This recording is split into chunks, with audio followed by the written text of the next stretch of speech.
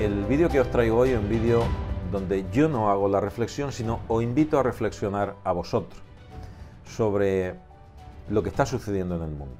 Es un vídeo eh, sin muchas pretensiones, no pretendo que lleguemos a ninguna conclusión, pero solo el planteamiento ya tiene una grandísima importancia.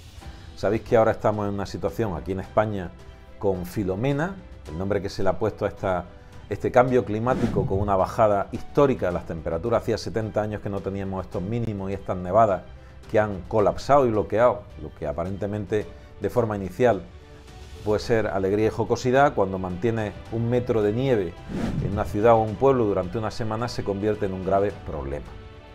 Pero al margen de esto, el comienzo del año nos ha traído un cambio climático brusco, transitorio, y eh, el asalto al Capitolio de los Estados Unidos, con una lucha que lleva al abismo, al borde del abismo, a un país como los Estados Unidos, que era el referente, o uno de los referentes, sobre todo a nivel económico.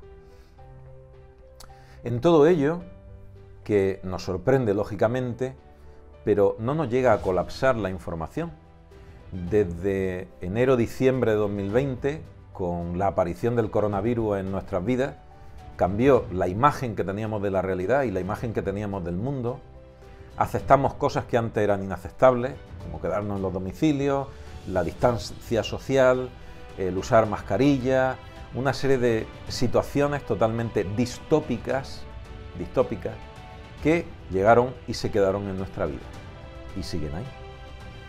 Con todo ello, en todo este tránsito de la pandemia, aunque para la mayoría los procesos pandémicos eran nuevos, poca gente ha vivido varias pandemias, pero lo cierto es que había 167 episodios epidémicos en el mundo que estaban costando muchísimas muertes y otros tantos que no eran tan llamativos como el coronavirus, pero que también costaban muchísimas muertes.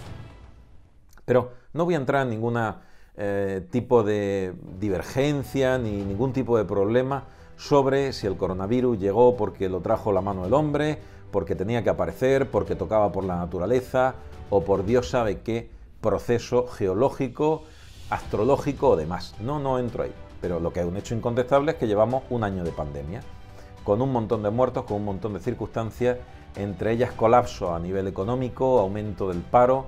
Se están formando crisis en torno a una crisis. Se prevé que esto va a ir a peor. Pocos son los que auguran una mejoría porque los datos están ahí ojalá que la haya, pero más paro, más desempleo, más hambre en muchas zonas del planeta, problemas que se van complicando.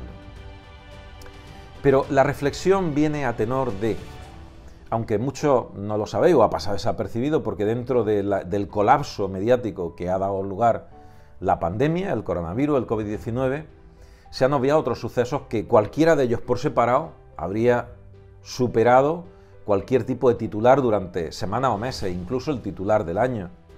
Se ha encontrado vida eh, fuera de la Tierra. Se ha encontrado una serie de circunstancias que son totalmente históricas. Lo de los Estados Unidos es una situación histórica.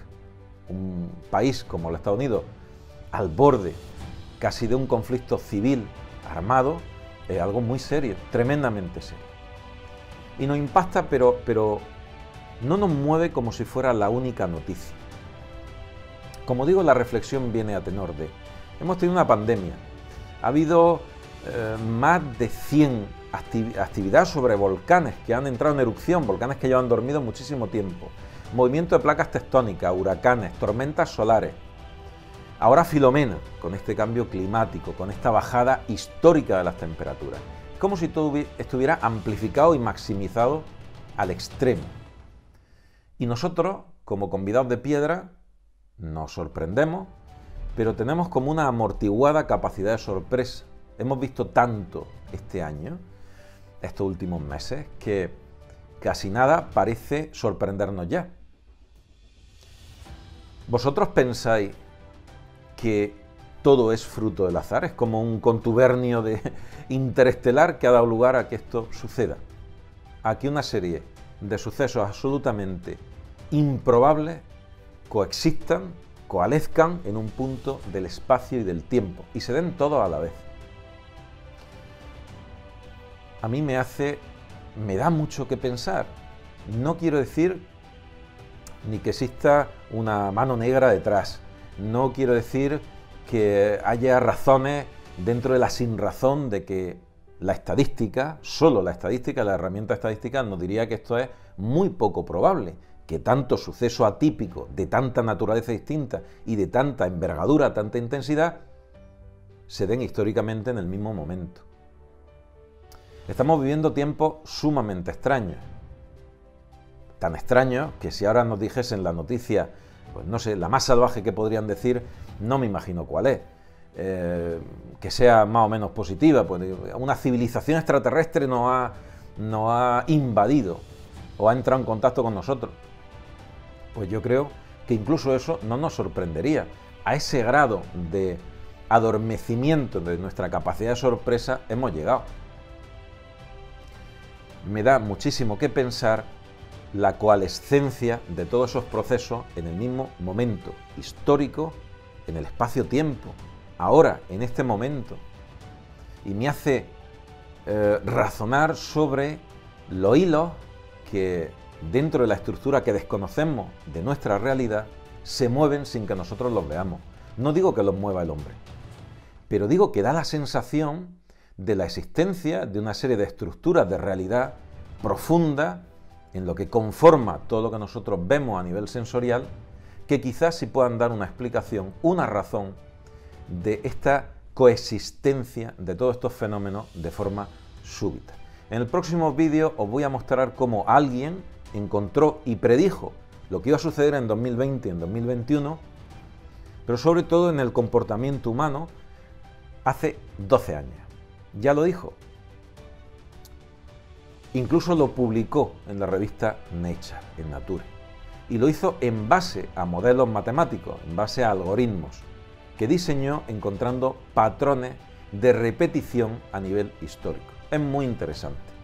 Lo que pasa es que solamente pudo ser aplicado, o ha sido aplicado, al comportamiento humano, pero el comportamiento meteorológico, la situación de las placas tectónicas, las tormentas solares, todo eso es bastante menos predecible y sobre todo su coexistencia en un punto espaciotemporal.